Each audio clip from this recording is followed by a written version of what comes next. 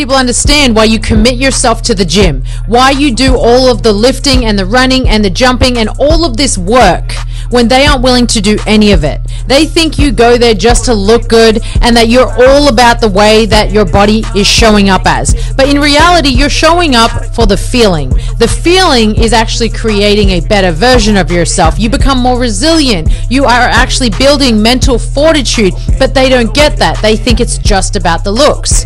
And in reality, you are actually proud of what you're doing with yourself. You are proud of the body that you're building. You're proud of the person that you're becoming. So the next time someone thinks that you are just crazy for your journey that you're on, just keep building the person that you're trying to build.